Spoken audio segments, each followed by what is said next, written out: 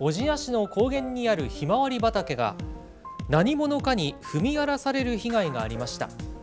ひまわりの種は東日本大震災の被災地から持ち込んだものだったといいます。誰が何の目的で荒らしたのでしょうか。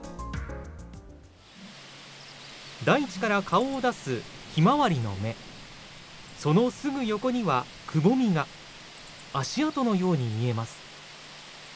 小千谷市の山本山高原。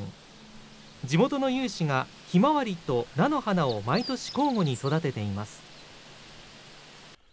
高原の一角にはこのように畑がありましてここには先月ひまわりの種が植えられました。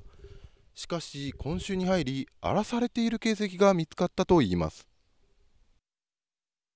地元の有志が先月末にまいた種はおよそ600粒東日本大震災の被災地宮城県石巻市で育ったひまわりの種でした。中越地震で被災した小千谷市。被災地の架け橋にしようとほぼ毎日畑の手入れをしていたといいます。順調に育ち半分ほどが芽を出したひまわり。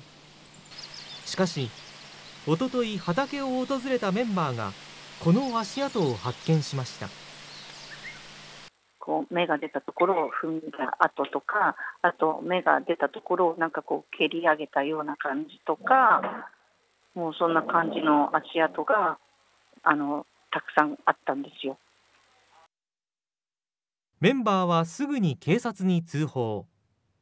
しかし土がえぐられひまわりの芽は多くがなくなっていたといいます一人の足跡なのか複数人の足跡なのかってどんなふうにご覧になりました？ちょっと細めの足跡があったりとかちょっと太めもあったりとかするしたので一人ではないような気もするんだけど。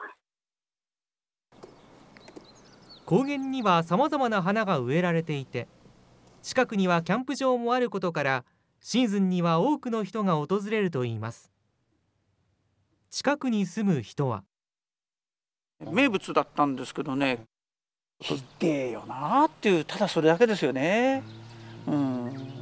すごくね綺麗にみんなあのねしてるんでひどいことするな、ね、まあ、荒らしたのはひまわり畑だけじゃなくてそこに携わった人たちの気持ちまでみんな踏みにじったことになるのでもうそれだけはやっぱり許せないよと。名乗り出てくれるようだったらまだねあの考える余地ありますけど多分出てくることはないと思うので。大切に育てていた人の気持ちを踏みにじる無数の足跡。一体誰が何の目的で？警察が詳しく調べています。